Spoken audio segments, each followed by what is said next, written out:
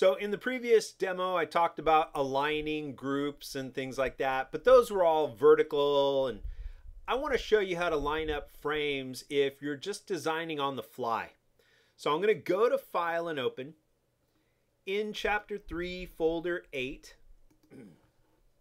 I'll open up this InDesign file. And this was an ad that I saw in a magazine. And I want to try to replicate the alignment of these three frames. Okay, because the top edge on this frame lines up with the top edge on that one. This right side lines up with that right side. This bottom edge lines up with that bottom edge. I want to make sure they all work correctly. I'm a stickler for details. So what I'm going to do is first go to my layers panel. We don't need this pages panel right here. I'm going to unlock the template and just to make sure I can work on top of this, I'm going to click right here and right up here is a field. This is your transparency. So instead of 100% solid, I'm going to knock this back down to about 50%. Kind of dim it out. Almost like I laid a sheet of tracing paper on top of it. And I'll lock that layer again.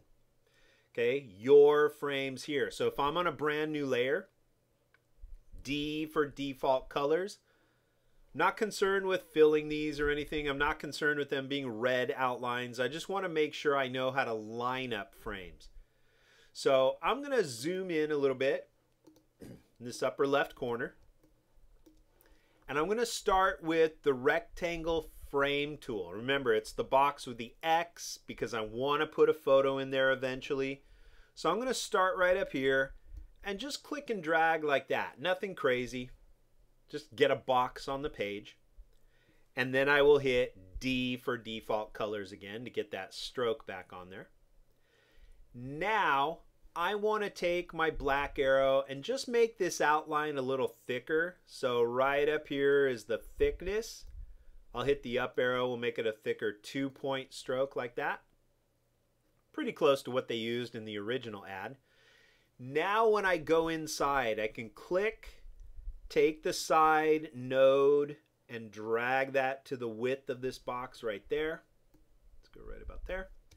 And we'll drag this edge down to the bottom edge of that red right there.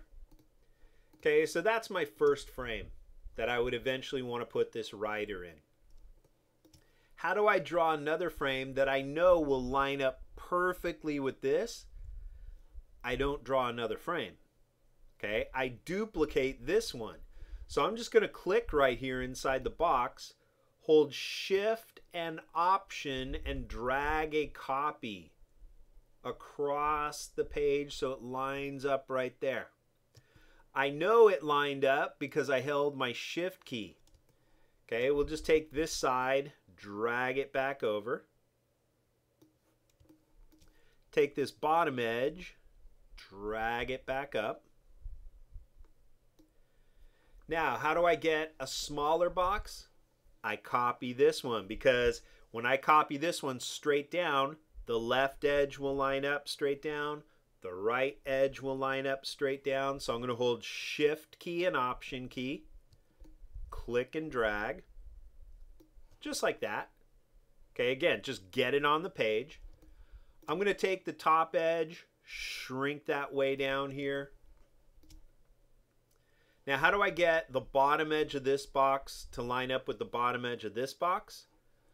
I select those two and use my alignment.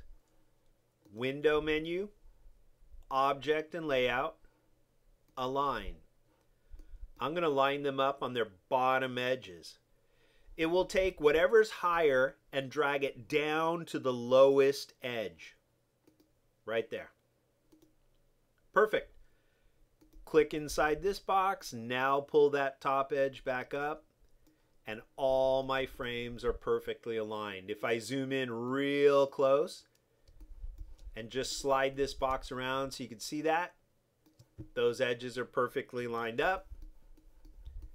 If I drag this bottom edge over, those edges are perfectly lined up. Okay, so that's what I do. I don't keep redrawing the same thing. I copy and resize. I copy and transform. So now these edges are perfectly lined. These edges are lined up. These edges are lined up. And the bottom edges are lined up. If I wanted these all to have their true red outline, you don't want to start inside because that's just going to pull it off the page. Start outside, click and drag across, click on my stroke, and now instead of black, here's my swatches. I'll click on red. there we go. I've got a layout ready to go. And if I clicked here and hit Command D, um, let's see, that was number eight. Uh, I think that was number eight. Yeah. Well, let's try it. Let's see. Okay, yeah, I got those three. So let's just select all three. Select all three frames with my black arrow. Command D. In folder number eight, I'll click figure one. Shift click figure two shift click glove shot and I'll open those. So right there is my graphics cursor. I'll just aim for inside the box and click. Aim for inside the box and click. Aim for inside the box and click. Click outside. Uh, let's turn off my template. Clicking that little eyeball right there. And there's a simple layout aligned frames everywhere, like a pro would do it. And there you go, aligning frames. Copy and resize. Don't draw over and over and over again when you don't have to. It's not necessary, okay? That's how we do it.